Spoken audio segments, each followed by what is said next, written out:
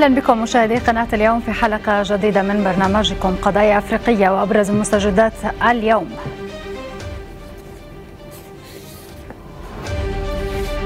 الأمم المتحدة تحذر من خطورة غياب الحل السياسي في ظل تدهور الوضع الإنساني والاقتصادي في السودان ورئيس البعثة الأممية فولكر بيرتس يشير إلى فشل محاولات التوصل إلى توافق بين القوى السياسية والجيش.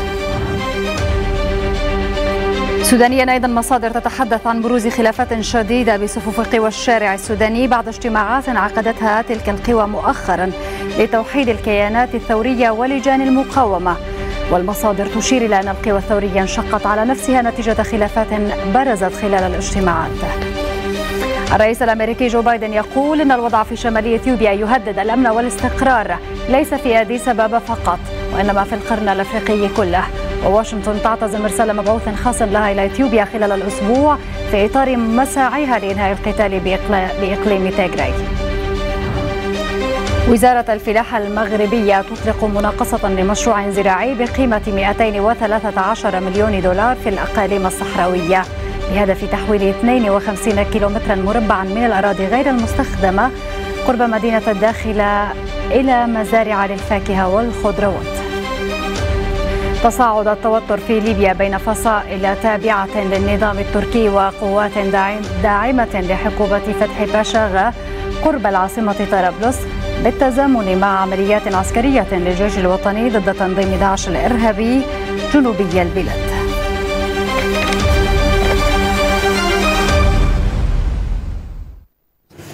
أهلا بكم مشاهدينا. نبدأ حلقة الليلة من السودان. تراكم الأزمات في هذا البلد زاء من سوء الأوضاع هناك بشكل عام وجعل المعضلة أكثر تعقيدا وسط تفاقم المشكلات السياسية والاجتماعية والاقتصادية التي تستند الواحدة فيها على أنقاض الأخرى دون التوصل إلى حل لأي منها. فمع احتدام الأزمة السياسية والسجال الحاد بشأن الحكم طفت على السطح الصراعات القبلية التي تحولت, تحولت لاقتتال دام في بعض المناطق من دارفور والنيل الأزرق وغيرها فيما طرأت مشكلة الفيضانات التي اجتاحت البلاد وتسببت بكارثة إنسانية جراء ما خلفته من دمار لآلاف المنازل والمحاصيل.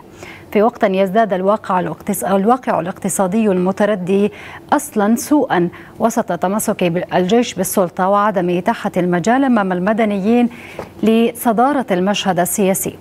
متجاهلا تهديداته السابقة ما عقد الأوضاع في السودان وجعلها في مأزق كبير يحتاج لخطوات جادة وأيضا فاعلة لتخفيف وطأة ذلك. على وقع الأزمة السياسية والاجتماعية والاقتصادية الحادة التي تعيشها السودان وسط خلافات المكونين المدني والعسكري دقت الأمم المتحدة ناقوس الخطر في هذا البلد. المتحدة إلى السودان حذرت من خطورة غياب الحل السياسي في ظل تدهور الوضع الاقتصادي والإنساني في البلاد. وبحسب رئيس البعثة فولكر بيرتس فإن كل المحاولات فشلت في التوصل إلى توافق بين القوى السياسية والجيش. فولكر بيرتس حث قائد الجيش عبد الفتاح البرهان وبقية القادة العسكريين على الالتزام بتعهداتهم بتجسيد الانسحاب من المشهد السياسي على أرض الواقع كما شجع الأطراف السياسية على التوافق لإيجاد مخرج من المأزق الحالي. كما عبر المبعوث الأممي عن قلقه من تصاعد العنف القبلي والتهديدات المتزايدة على المواطنين في ولايات دارفور والنيل الأزرق. وطلب السلطات بالتعجيل بتنفيذ الخطة الوطنية لحماية المدنيين والتي تدعمها الأمم المتحدة. هذا ويعيش السودان منذ انقلاب الجيش في تشرين الأول أكتوبر الماضي أزمة سياسية حادة. وخلافات بين المكونين المدني والعسكري على خلفية استلام الحكم وتشكيل الحكومة. يشار إلى أن الاجتماع الرسمي الذي كان مقررا بين قادة الجيش السوداني وقيادات قوى الحرية والتغيير وقادة الحركات المسلحة قد تم تأجيله لأجل غير مسمى. الأمر الذي أثار مخاوف على مستقبل الانتقال الديمقراطي في البلاد.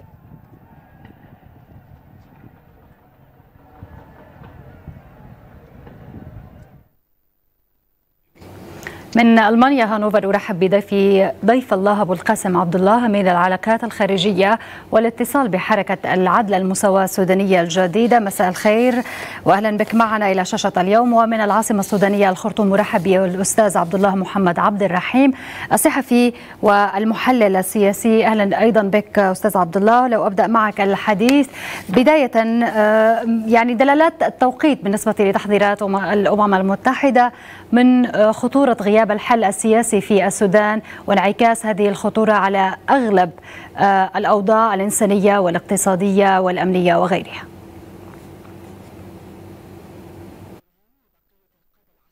وأنتم تطرقون هذا الموضوع المهم جدا والهام وتوقيتاته. حقيقة يعني يعيش السودان الآن يعني مرحلة صعبة جدا.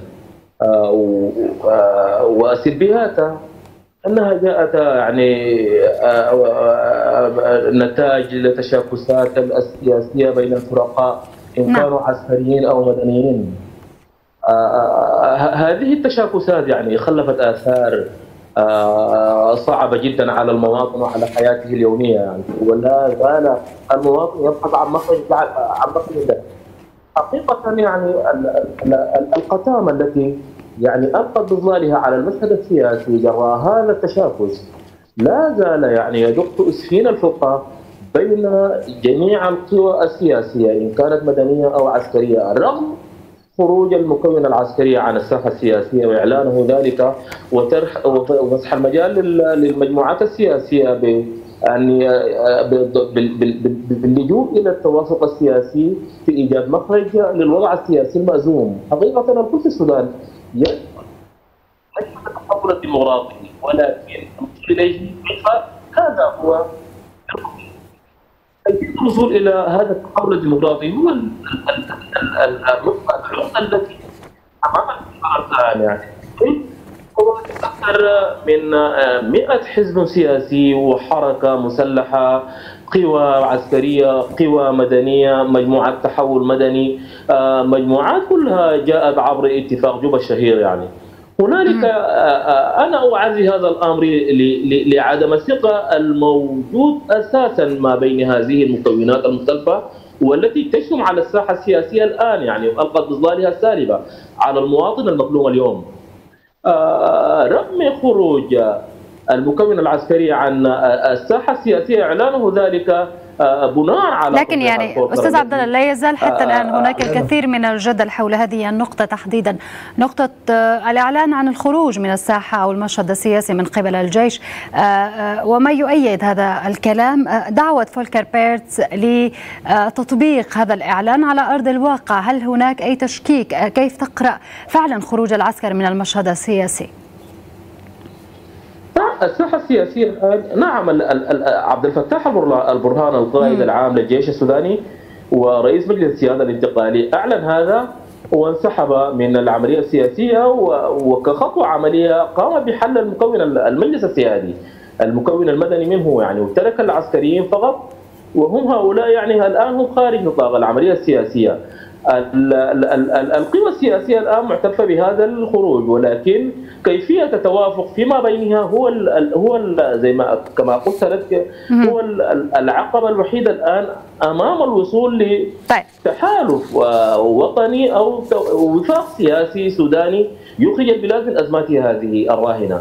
طيب. أستاذ نعم. الآن هناك من يتحدث نعم. هناك من نعم أستاذ. نعم دعني أتوجه إلى أستاذ أبو القاسم أستاذ عبد الله ساعود إليك.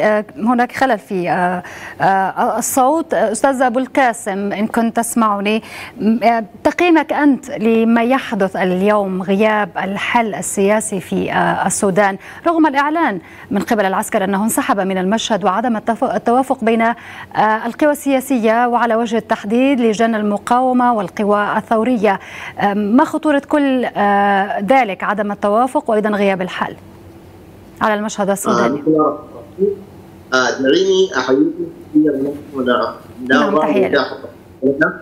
كنيو جيم وثانيا اجابه على هذا السؤال صراحة قلوب كل السودانيين الحريصين على وحده السودان وامل أن يروا في السودان خيرا تدمي تدمي حزنا على الحال الذي يمر به السودان الآن أما مقولة إن العسكر قد خرج من المشهد السياسي لا يا أختي الكريمة.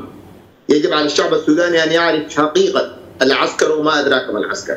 العسكر لم يخرج من الوجه من الواجهة السياسية السودانية بل العسكر قد أكد انقلابه.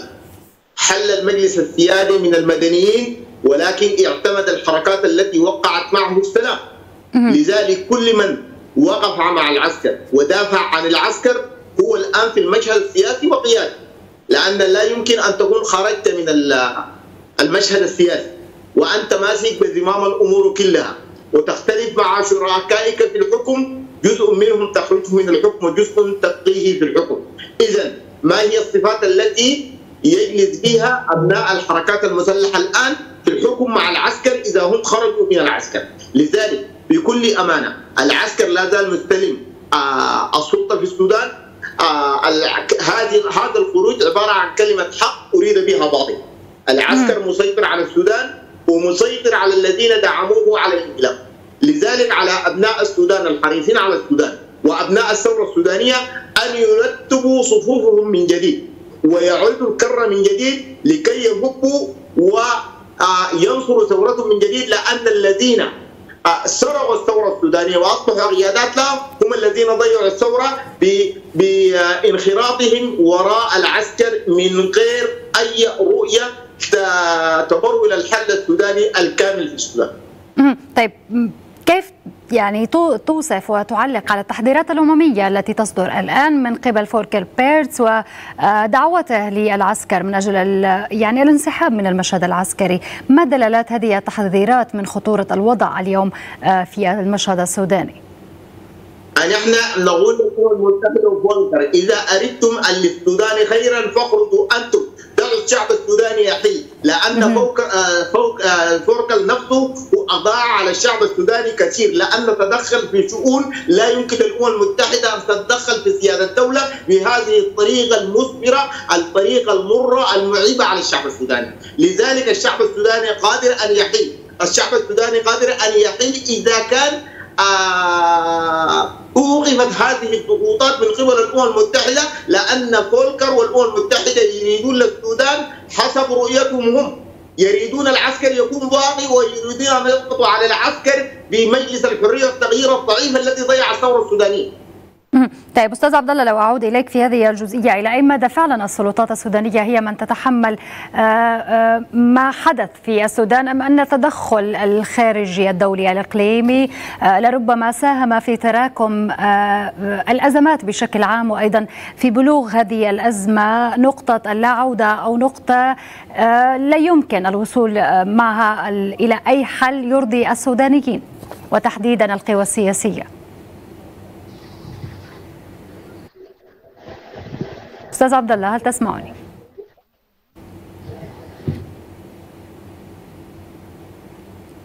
أستاذ عبد الله هل تسمعني؟ نعم أسمعك أستاذ لا أعلم إن كنت قد سمعت السؤال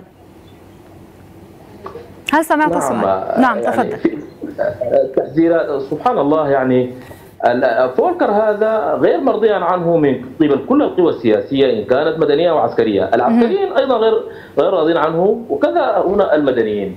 اذا هناك لكن يعني إن كنت تعلق اسمح لي على المقاطعة هنا. يعني العسكر حدثت هناك مناوشات أو على الأقل تراشق كلامي بين البرهان وفولكر بيرتس يعني قبيل أيام أو أشهر من الآن. دعا فيها البرهان إلى خروج فولكر بيرتس ان يعود فولكر بيرتس ويثير هذه النقطه بضروره خروج العسكر من المشهد السياسي اي دلالات لهذه التصريحات برايك هي هي لم تكن مرتبطه ببعضها الدعوات البرهان كان نتاج لتقرير فولكر الذي قدمه إلى الأمم المتحدة. اما أما الراهن الآن يعني تصريحات فولكر يعني تاتي جاءت داعمة لموقف البرهان الذي اكد فيه أن المكون العسكري خرج عن السلطة. دعني أقول لك يا أستاذة أن إذا ما ترك الأمر للسودانيين وحدهم وهذه فرضية أنا أقف معها تماما. هناك الآن في الساحة أكثر من ثلاثة مبادرات سياسية الآن. مبادرة الطيبة الجد والذي قيل صحيح. فيها الكثير وهناك مبادرة أخرى لحزب الاتحاد الديمقراطي وهناك مبادرة مبادرة أخرى لحزب الأمة يعني وهناك محاولة لجمع كل هذه المبادرات و توحيدها ودفعها للساحه السياسيه للخروج من الأزمة السياسية التي هي الآن في الراهن قد جسمت على كل الواقع. الآن قوى الحرية والتغيير تحديدا يعني يقال فيها الكثير وأنها قد فوتت على السودانيين الوصول إلى إلى محاولة وصول الاتفاق في وقت كان الوطن أشد فيه ما يكون. يعني الآن هناك وده ناتج عن تشرذم الكبير جدا الذي دق في صفوفها. يعني الآن الحركات المسلحة التي تحكم الآن مع المكون العسكري هي جزء من قوى الحرية والتغيير. يعني والذين يتحدثون في العسكر الآن هم أيضا جزء من قوى الحرية والتغيير. كل هذه الصفوف المختلفة هي التي تشكل الواقع السياسي الآن. إذا أصل الأزمة أزمة ثقة موجودة الآن بين المكونات السياسية في الساحة السودانية. الشباب من من من يتجرأ هذه وإلى هذه الخلافات ووحده الآن هو من يقود الشارع السياسي الحراك في الشارع السياسي بعيدا عن القوى السياسية المختلفة نافرا لكل السياسيين ونافرا لكل القيادات السياسية. هؤلاء هم ضيعوا فرصة كبيرة جدا للوطن أن من أن يصل لوفاق وطني أو إلى تحول ديمقراطي مشهود أو كما تدعو إليه الآلية الأفريقية أو الآلية السياسية التي يقف على طيب رأستها يعني وهنا يكمل لب المشكلة السودانية أستاذ عبد الله إن كنت تسمعني. هنا يكمن لب هذه المشكلة ويعني عدم التوافق في الرؤى بين ما يتطلع إليه الشعب السوداني وبين ما تريده الجهات والقوى السياسيه وأيضا العسكرية في السودان وهو ما نتحدث ونريد أن نركز عليه في الحديث. الأزمات تفاقمت بعد ما كانت يعني رؤية الشعب السوداني هي ثورة سودانية وأيضا حكم مدني ديمقراطي. هناك أزمة إنسانية أزمة اقتصادية وأيضا يعني عنف قبلي متصاعد يوم بعد آخر. نعم كل كل كل هذه الأزمات أختي العزيزة ناتجة عن الخلافات التي وقعت ما بين هذه القوى السياسية والتي لم تصل إلى وفاق سياسي حقيقي يقود البلد إلى تحول ديمقراطي. مشهود كما جاءت على إثر الثورة والتي هب لها كل جموع الشعب السوداني. ال ال ال ال ال ال الاقتتال القبلي والصراعات الناتجه الآن في العديد جدا من ارجاء الوطن العزيز كلها نتاج لبؤر خلافات سياسية يعني تحرك من قبل السياسيين. كلها ناتجة ل هي فتنة أريد بها يعني إيصال هذه الأزمة إلى مستواها الأخير وهو أن لا يكون هناك وهي تهدف إلى أن لا يكون سودانا. ولكن العقلاء من أبناء السودان الآن يعني قد تراعوا وقد تداعوا لهذه لهذه الهوه الكبيرة التي ماضية في الحصول في هذا الوطن العزيز. فخمدت هذه الصراعات في النيل الأزرق أخيرا قمدت في دارفور ولكن كيفية الوصول إلى حل سياسي هو المربط الذي يسعى إليه الكل يعني هنا في السودان. طيب أستاذ أبو القاسم لو أعود إليك يعني على ما يبدو تداعيات الأزمة اليوم وغياب الحل تنعكس بشكل كبير على جميع ومختلف نواحي الحياة السودانية، من برأيك يقف وراء تراكم هذه الأزمات بشكل هرمي؟ منذ عملية الانقلاب الحاصلة تحديدا حتى الآن. هل هو عدم التوافق بين القوى المدنية أم تحكم العسكر بالسلطة ممارسة العنف وما إلى ذلك؟ أنا أعتقد كل المدنية الحالية السبب الرئيسي فيها هو ما يسمى جزافا بالحرية والتغيير والحركات المسلحة الموقعة على سلام جوبا لأن هؤلاء الذين يعني استولوا على السلطة السودانية والثورة السودانية من غير وجه حق. أصبحوا هم الأزمة الحقيقية عند نظر الشعب السوداني لأن هدفهم الأساسي كان التهاتف على الكراسي والمصالح. لذلك أدخل الشعب السوداني في هذا المكان. بعد ما كان العسكر الجيش السوداني في هوان وضعف أمام الشعب السوداني بضعف قيادات الحرية والتغيير والحركات المسلحة التي وقع السلام جوا المشاركه في الحكم الآن أعادت القوة للجيش السوداني والهيمة من جديد لكي يهيمن الجيش السوداني على كل شيء في السودان، لذلك نحن نقول لا الحرية والتغيير ولا الحركات التي وقع السلام جبا كلهم هؤلاء أصحاب مصالح لا يمثلون الثورة بل كانوا يمثلون التهاتم على السلطة وضيعوا على الشعب السوداني أنبل واشرف ثوره مرت على تاريخه، لذلك الحساب سيكون ولد عليهم جميعا. يجب على هؤلاء كلهم أن يكونوا خارج المشهد السوداني وتعود كلمة تسقط بس من جديد التي وحدت الشعب السوداني ووحدت الثورة السودانية وفتحت أمل كبير للشعب السوداني. ضيعوه هؤلاء المتهافتين على السلطة، عندما كانوا في السلطة كانوا ضيعوا الشعب السوداني، وعندما خرج جزء منهم من السلطة الآن أصبحوا يتهاتفون للشعب السوداني كأنهم الأمل، كلهم يجب أن يذهبوا إلى مزبله التاريخ ويدخلوا مع المؤتمر قيادات المؤتمر الوطني في السجون على الشعب السوداني أن يحيي ثورته من جديد ويقود نضاله من جديد لكي يخرج بالسودان من هذه الأزمة المرة. لذلك نحن في حركة العدل والمساواة السودانية الجديدة دوما ندعو من أجل السودان الواحد الموحد الذي يجب أن تعاد تعاد له كرامته وعزته ويكون كل سوداني فخير به. وبرأيك يكون ذلك يعني بالعودة إلى الشارع والتظاهر. أستاذ أبو القاسم برأيك ذلك سيكون من خلال العودة إلى التظاهر وإلى الشوارع السودانية؟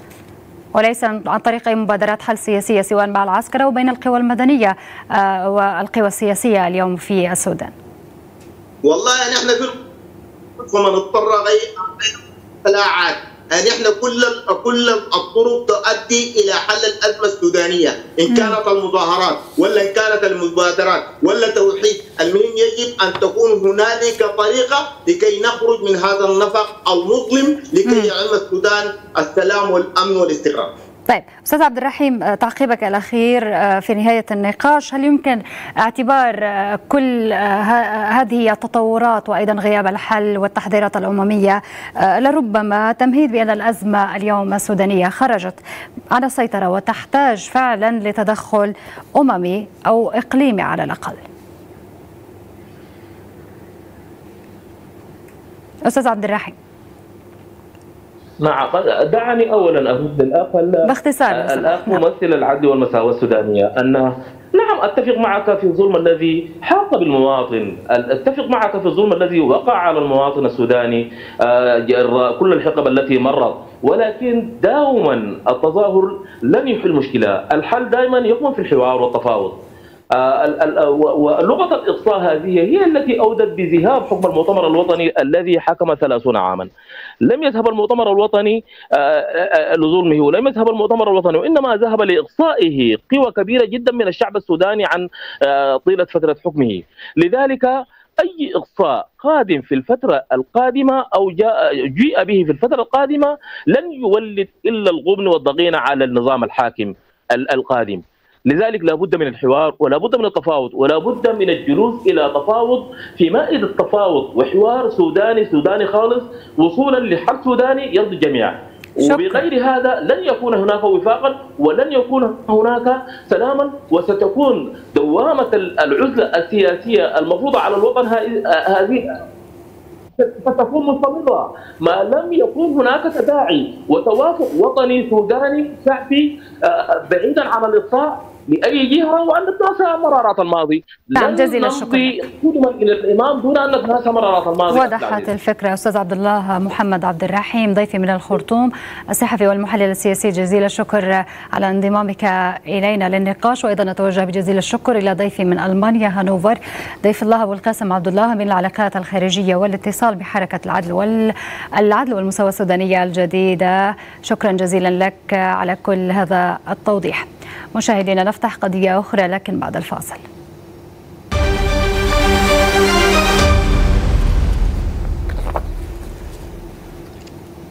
لا يزال الوضع الأمني يشكل عقدة الأزمة الليبية ولعلها أيضا تشكل مفتاح الحل.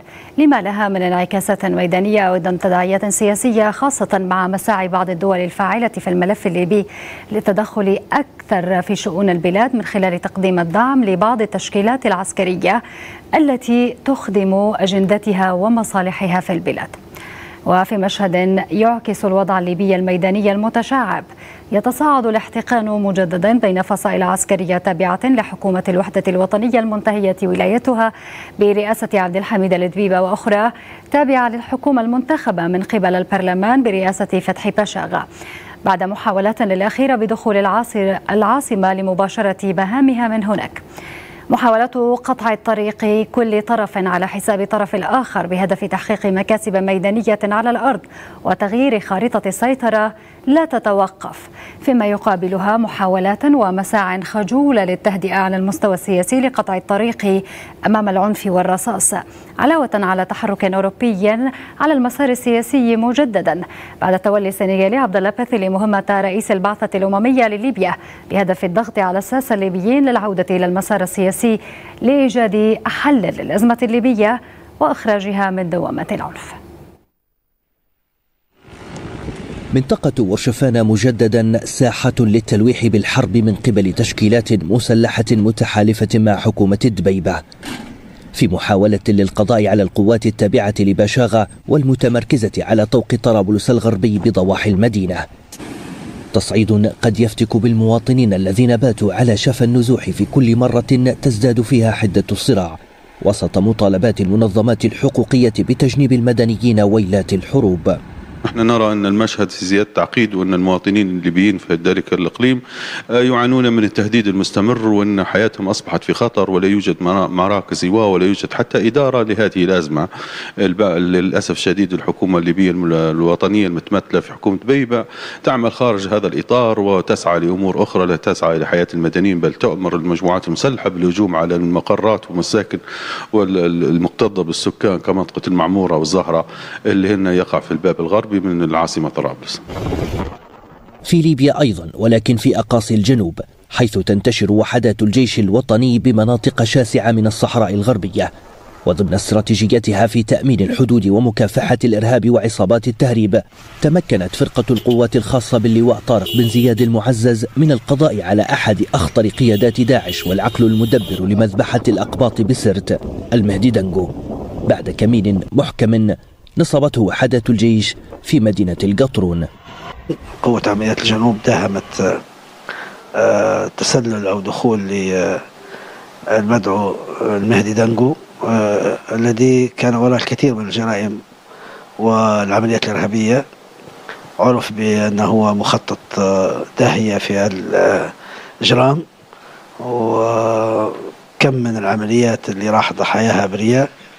كان وراءها هذا المدعو دانجو اللي ولد في سنة 84 وهو من سكان درنا وأسس آه، أكثر من مجموعة متطرفة. أزمات ليبيا السياسية وصراعاتها المحتدمة تأبى حتى الهدوء النسبي وبات حلم الانتخابات يتلاشى في ظل التصعيد العسكري المتزايد بين أطراف النزاع بعد لجوئها للعنف كخيار بديل عن لغة الحوار والتفاهمات. هكذا هو المشهد في ليبيا. مع كل مرة تعود فيه الأطراف إلى مربع الانقسام تنشط التنظيمات الإرهابية وتعود للظهور مجددا وتسعى كما هو حال عديد التشكيلات المسلحة في طرابلس إلى استغلال فجوة الخلاف بتحقيق مصالح ضيقة وفرض نفوذ على مناطق جديدة من شأنها أن تغير خارطة التحالفات القادمة. أحمد بن عاشور اليوم بنغازي. للنقاش والمتابعة ينضم إلي من القاهرة الأستاذ حسين مفتاح نائب رئيس تحرير مواقع موقع بوابة إفريقيا الإخبارية. مساء الخير. وأهلا بك معنا ومن ألمانيا دولسلدورف أرحب بصلاح أو صلاح أنقاب كاتب صحفي. مساء الخير أستاذ صلاح. وأيضا أهلا بك معنا للنقاش. لو أبدأ أستاذ حسين معك الحديث. بداية كيف يفسر التصعيد الميداني بين الحين والآخر تحديدا قرب طرابلس؟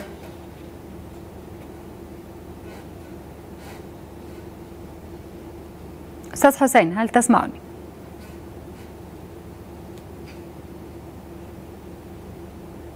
أستاذ حسين هل أنت معنا؟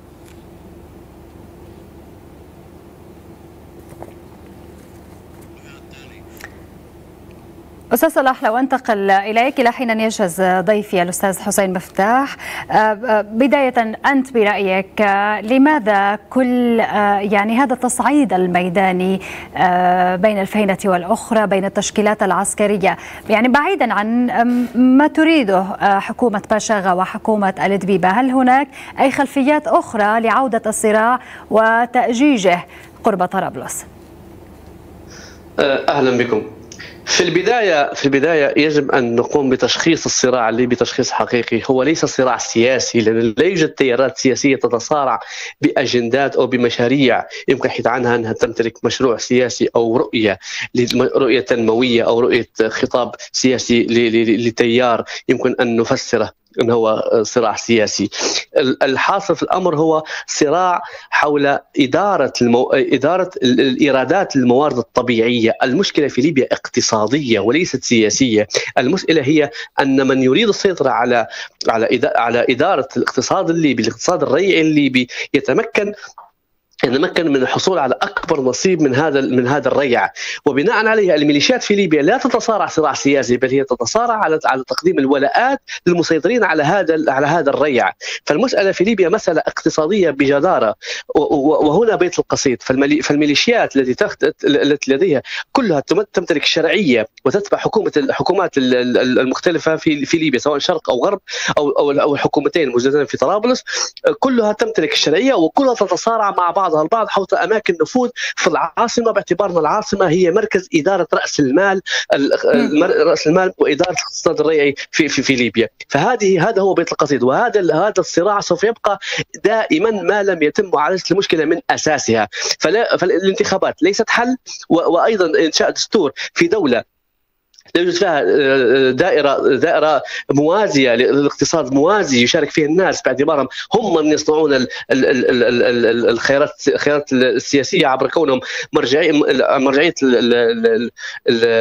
شكل الدولة والسوق السوق السوق يرجع إلى المواطن ليس إلى الدولة التي تهب هبات المواطنين على مرتبات هذه هي المشكلة الحقيقيه في ليبيا فهذه المشكلة سوف تستمر إلى الابد ما دام لب الموضوع والصراع على على المال العام لن ينتهي ويستمر الاقتصاد الريعي مسيطر على شكل الاقتصاد المحلي الليبي.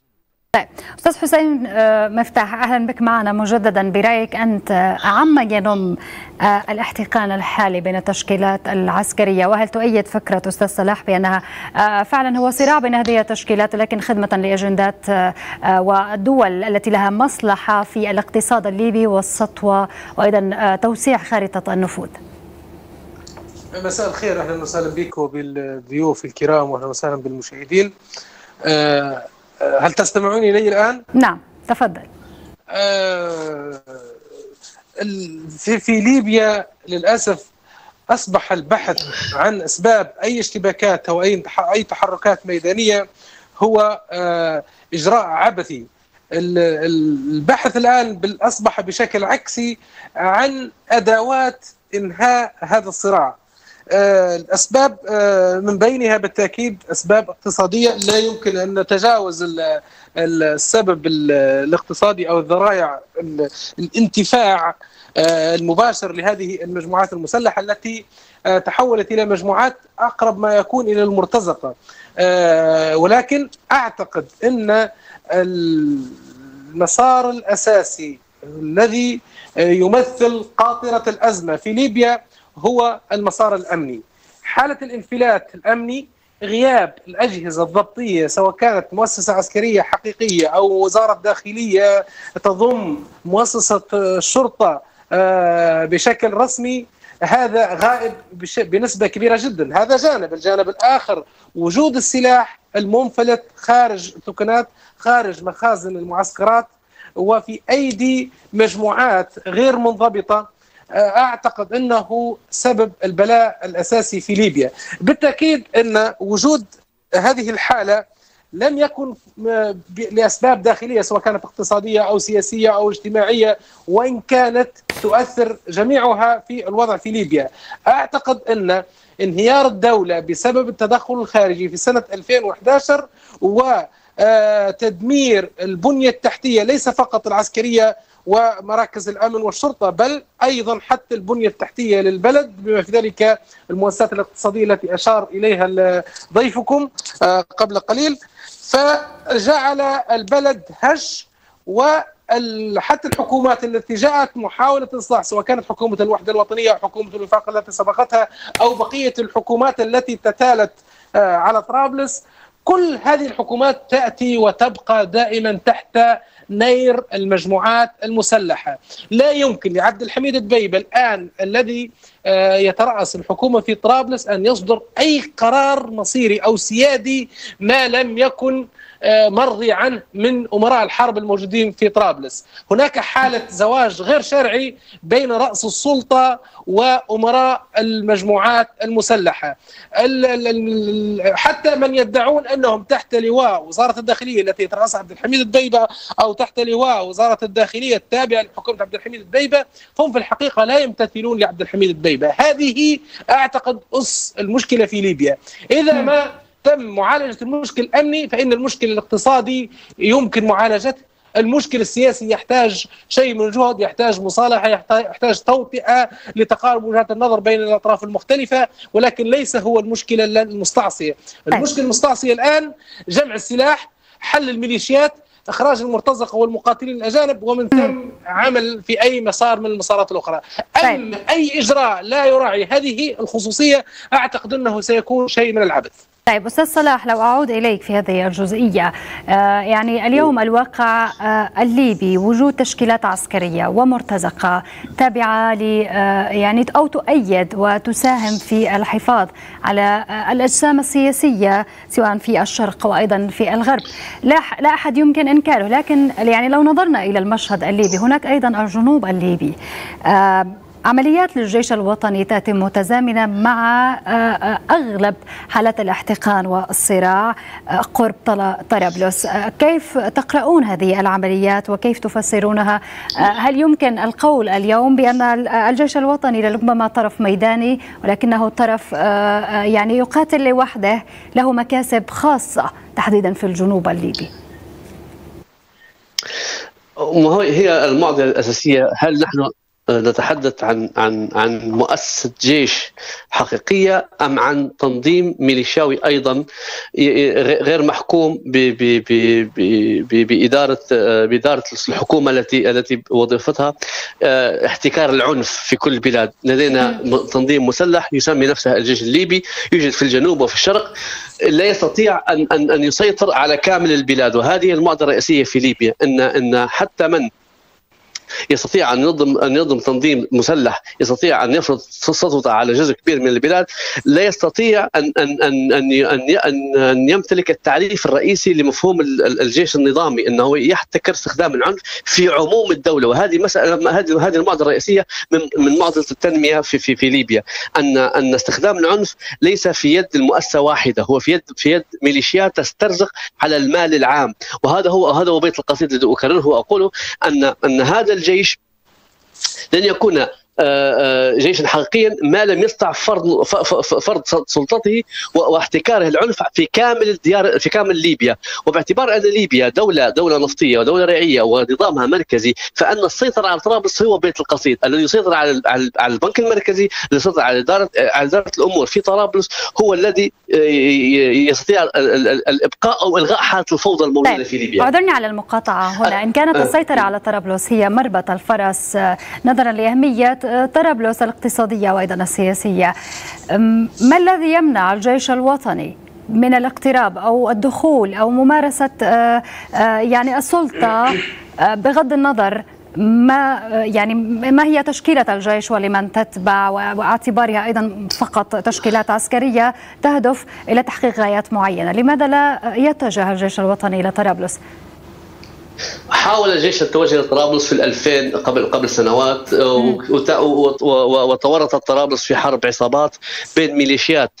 آه، اتحدت كلها ضد ضد ضد ضد هذا التنظيم المسلح أو الجيش الليبي آه، باعتبارها أنها سوف تفقد امتيازاتها وامتيازات الاسترزاق من المال العام. الحل ألو؟ نعم تفضل. الحل الحل لا يكون إلا بإفقار الحكومة. بمعنى أن أن أن إيرادات النفط إيرادات النفط يجب أن تفصل عن ميزانية الحكومة حينها الميليشيات لن تجد لن تجد مصدرا للاسترزاق وسوف تختفي الميليشيات. طيب. الموضوع اقتصادي بجدارة. طيب. هنالك ضوضاء صراحة لا. نعم. سأعود إليك أستاذ حسين مفتاح. آه، لو أتساءل معك أيضا في ظل آه، يعني هذا الصراع الميداني الموجود والإحتقان في الداخل الليبي هل يمكن اعتبار الجيش الليبي برأيك؟ آه، يحاول أيضا كسب معركة ميدانية في الجنوب الليبي لا حين يعني أن يلوح في الأفق أي حلول سياسية من قبل هذه الأطراف الموجودة اليوم والفاعلة في الملف الليبي؟ التحديات الموجودة في ليبيا وعندما نتحدث عن التحديات الميدانية في ليبيا هي تفوق قدرات حتى المؤسسات العسكرية النظامية المحترفة في الدول المستقرة. ما بالك في دولة مثل ليبيا؟ الجيش الليبي في سنة 2011 من 19 مارس حتى 20 أكتوبر تعرض ل 30 ألف غارة جوية. استهدفت 9000 هدف عسكري من أقوى ترسانة في العالم. الترسانة التي كانت موجهة لمواجهة حلف وارسو عندما كان يضم روسيا الاتحاد السوفيتي السابق ودول الكتلة الشرقية بالكامل. هذه الهجمة التي استمرت حوالي سبعة أشهر أو ثمانية أشهر دمرت كل ما تبقى من بنية تحتية يمكن الاعتماد عليها في بناء مؤسسة عسكرية. فليبيا الآن تفتقر إلى مؤسسة عسكرية حقيقية. حتى المؤسسة العسكرية الموجودة في الشرق الآن والتي اعتمدها مجلس النواب كجيش ليبي أو القوات المسلحة العربية الليبية هي ليست مؤهلة تأهيل كامل ولم تتلقى دعما كاملا إضافة إلى أن قرارات مجلس الأمن التي سلبت السيادة من ليبيا في في 17 مارس 2011 قرار 1973 الذي وضع ليبيا تحت طائلة البند السابع من ميثاق الأمم المتحدة جعل توريد الأسلحة بشكل قانوني ممنوع. ودعم المؤسسة العسكرية والتدريبات الحديثة أيضا ممنوع فالمؤسسة العسكرية لا توجد مؤسسة عسكرية حقيقية حتى هذه المؤسسة التي تحاول أن تلملم بعضها البعض وأن تجمع أكبر قدر من العسكريين سواء كانوا ضباط أو ضباط الصف أو الجنود المحترفين طيب. لا تزال قاصرة عن مواجهة هذه التحديات الأمنية الكبرى إضافة إلى التدخلات الخارجية. في سنة 2019-2020 معركة طرابلس التي تحدث عنها ضيفكم قبل قليل توقفت بسبب تدخلات خارجية. تركيا أمريكا بريطانيا كل هذه الدول مجتمعة هي من عملت فيتو على دخول طرابلس. ليس فقط المقاومة المحلية المتمثلة في المجموعات المسلحة التابعة لحكومة الوفاق. فأعتقد أن التحديات أكبر من مؤسسة عسكرية حقيقية ما بالك ليبيا تفتقر الآن إلى مؤسسة عسكرية مكتملة الأركان. طيب نعم. أستاذ صلاح نقاب تعقيبك الأخير في نهاية نقاشنا اليوم أيضا نتساءل معك عن رؤيتك لهذه المساعي الدولية مؤخرا محاولات للتهدئه وأيضا للضغط على آه، الأطراف السياسية تحديدا من قبل باريس وإيطاليا على خلفية اللقاءات التي جرت آه، مع آه، المسؤولين في المجلس الرئاسي. العدو في الداخل. لا يمكن أن ننظر الحل التي من الخارج. يجب على المجتمع الليبي أن يعي أن مشاكله مشاكل داخلية. آه، الجميع لديه مصالح. الدول تتعامل مع بعض بناء على مصالحها وما تريده أن يكون. فبناء عليه لا نتوقع أن الخير أو الحل يأتي من خارجنا. كل دولة تبحث عن مصالحها. الليبيين يجب أن يعوا أن مشكلتنا في بنية الدولة في الأساس. مفهوم المؤسسات مفهوم الاحتكار العنف مفهوم قدرة الدولة على السيطرة على إدارة رأس المال داخلها. الفرار من فخ الاقتصاد الريعي.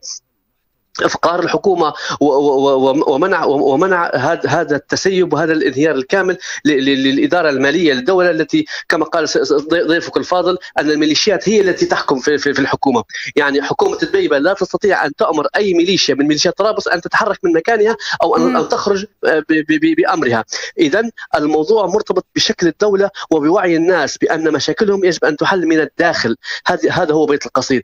شكرا. باعتبار أن مشكلتنا الرئيسية هي هذا الاقتصاد الريعي وهذه الفوضى التي سببها انهيار مؤسسات الدولة الليبية. نعم جزيل الشكر لك ضيفي من ألمانيا دولسردورف سلاح نقاب كاتب صحفي شكرا لك على انضمامك معنا للنقاش. وأيضا جزيل الشكر لضيفي الآخر من القاهرة الأستاذ حسين مفتاح نائب رئيس تحرير موقع بوابة إفريقيا الإخبارية. شكرا لك على كل هذا التفصيل والتوضيح. مشاهدينا قضية قضايا أخرى اناقشها معكم ولكن يوم غد